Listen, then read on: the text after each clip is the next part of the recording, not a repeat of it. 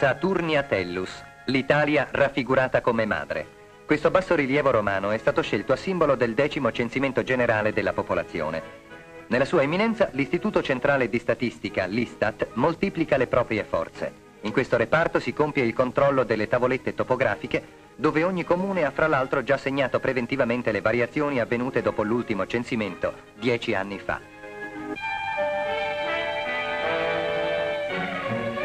Intanto sta per essere ultimata la stampa dei moduli da distribuire sia per il censimento della popolazione come per quello dell'industria e del commercio indetto contemporaneamente.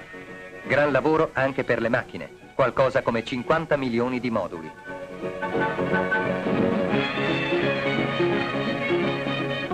Non a caso questa divinità egizia sta sul portale dell'istituto. Pare che presiedesse ai numeri. Nella biblioteca specializzata troveremo altre testimonianze della scienza dei computi presso le antiche civiltà. Gli Incas calcolavano sui nodi di tante cordicelle. Un ricordo del censimento romano che portò a Betlemme Maria e Giuseppe. Uno del primo obbligo legislativo di periodicità nei censimenti è nella Costituzione degli Stati Uniti. Ma restando nella storia, veniamo al nostro paese. Questo censimento della popolazione del 15 ottobre si chiama Buon diritto del centenario. Torniamo indietro di un secolo. A Torino la mostra storica dell'unità d'Italia, simboleggiata fin dall'atrio dai gonfaloni di tutte le province raccolti nel segno di Roma, ci aiuta a riassumere.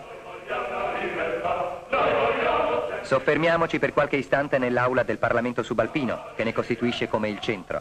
Qui, nelle discussioni politiche animate da ardente amor di patria, nella saggezza diplomatica di Camillo Cavour si posero le basi di quell'unità che era nelle aspirazioni dei patrioti, dei cospiratori, dei martiri. È il 59. I volontari accorrono da tutta Italia. Le prime vittorie delle armi. Le rivoluzioni trionfanti nei piccoli stati della penisola. Garibaldi con la bandiera dei mille. L'incontro che suggella l'unione col Mezzogiorno d'Italia i proclami per i plebisciti. Tutti unanimi per l'antico regno sardo che ormai da Torino, con la solenne apertura del Parlamento a Palazzo Madama, sta per proclamarsi Regno d'Italia. L'Italia è fatta. Bisogna contare gli italiani. 31 dicembre 1861, primo censimento della popolazione, il censimento dell'unità. Ecco il facsimile del questionario pubblicato sul giornale ufficiale. Un evento storico, come ogni censimento del resto. Ma vogliamo considerarlo mettendoci un poco nei panni, o meglio nelle mezze maniche, dei poveri travet che dovettero fare i computi. Somme e somme, prove e riprove, con lo scrupolo tradizionale della classe.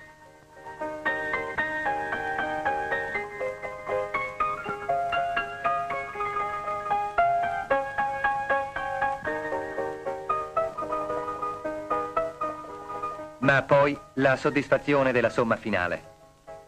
21.777.334 cittadini. L'Italia è fatta. Diamine. Un poco, dopo tante fatiche, anche per merito nostro. 20 giugno 71.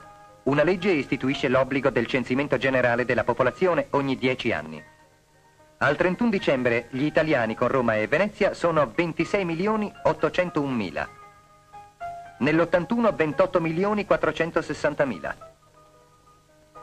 All'alba del nuovo secolo 32 milioni 475 mila. L'eterno travet, un poco modernizzato, salvo che nelle mezze maniche, non ha ancora la calcolatrice. La macchina da scrivere sì. E una battuta dietro l'altra su questo ammenicolo è arrivato a quelle del totale. Quanta solennità. Passiamogli avanti. Nel 1911 34 milioni 671 mila. Un gran balzo fino al 51, 47 milioni 159 mila italiani. E nell'anno del centenario? Il censimento industriale e commerciale è fissato per il 16 ottobre, quello della popolazione per il 15. Si intende così fare il punto in giorni e in un'ora prestabiliti, in linea teorica, la mezzanotte. Perché un censimento è come una istantanea, ecco un flash che fissa una situazione per tutti e per ciascuno. Questo signor ciascuno, ad esempio, rappresenterebbe il censito ideale. Preciso, metodico, cosciente nel compilare il modulo affidato alle cure di ogni capo famiglia. Quest'altro ciascuno è molto franco nella sua fatica. È la parte del modulo dedicata ai componenti della famiglia, ma se scrivessi un poco più chiaro. Un personaggio importante, diremmo. Forse, commettendo una piccola indiscrezione, potremmo sapere qualcosa di più. In questa pagina si chiedono notizie professionali.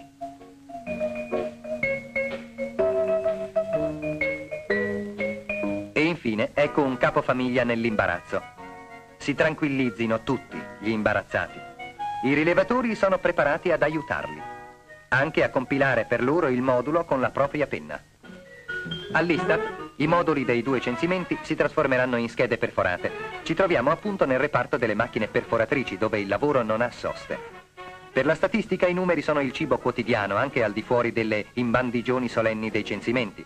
Schede perforate anonime, sia detto per i sospettosi. Alla statistica piacciono soltanto i numeri, i nomi le sono addirittura indigesti. Altre macchine, seguiamo il cammino delle schede. È una velocissima selezionatrice che raggruppa secondo i diversi caratteri. Esempio, maschi e femmine, celibi, coniugati, vedovi, eccetera, eccetera. È il reparto meccanografico, dalle selezionatrici alle tabulatrici che mettono in colonna e tirano le somme, per parlare molto all'ingrosso. Finché non ci schiuda le porte il regno dei calcolatori elettronici, le macchine capaci in poche ore dei computi di mesi o di anni per le deboli forze dell'uomo. Il calcolatore funziona da solo, ma è l'uomo, consoliamoci, ad avergli preparato il piano che lo guida.